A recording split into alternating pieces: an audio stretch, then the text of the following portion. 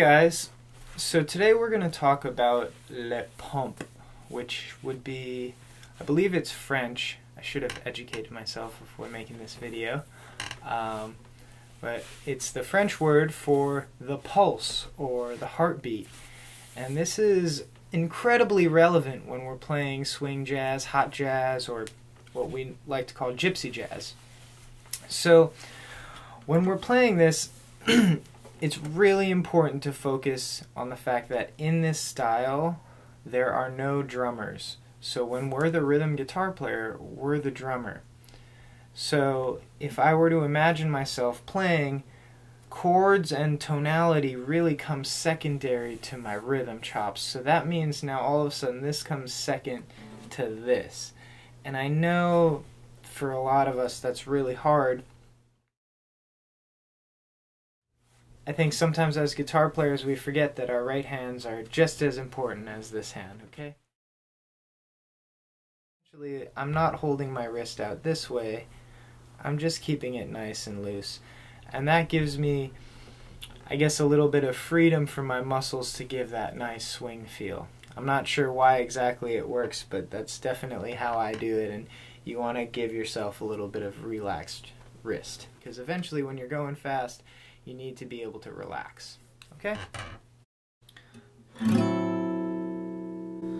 So after I strum down, I'm going to let go of my left hand just enough so the strings stop ringing. I'm not going to actually let go of the strings, but just so that the sound stops. So like this.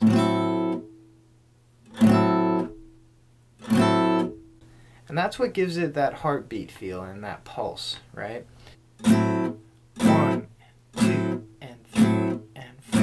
And now I'm counting like a swing feel. One, and two, and three, and four, and one, and two, and three, and four. Now on those ands, that swung eighth, one, and two. I'm going to emphasize that with my upstroke, and that would be like this. So, one, and two, and three. And notice I'm strumming up on muted strings.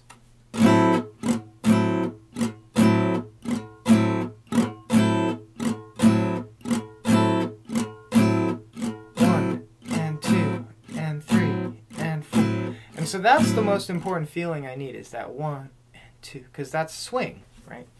So I'll speed that up a little bit.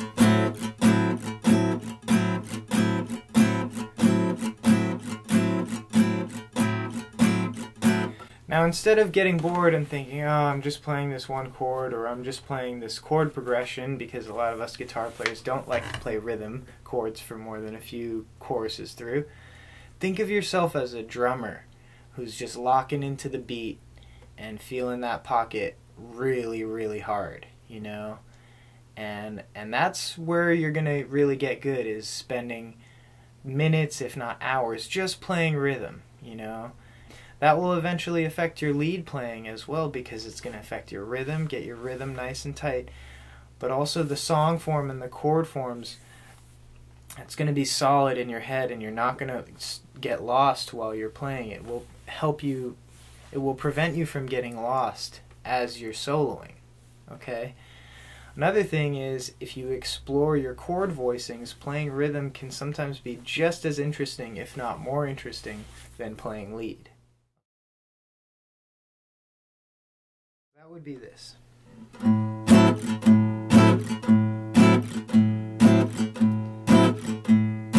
essentially that's the same exact thing as the Le Pompe or the first feel that we were doing. Except now on 1 and 3 I'm aiming for the bass notes or the E string and on 2 and 4 I'm aiming for the higher strings. So it sounds like a drum. Boom, ka, bass, snare, bass, snare. Or for bluegrass or a lot of types of traditional Americana, they call it the boom chucks. So that's why I, I like to call it the boom chucks, or the gypsy boom chucks. Notice that swung eighth note is still in there, those up, muted up strums.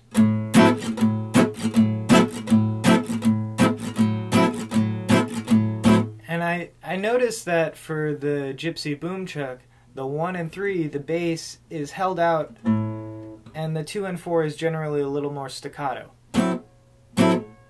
Right? So.